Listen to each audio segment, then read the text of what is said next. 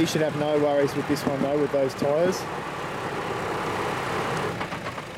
Lock your front.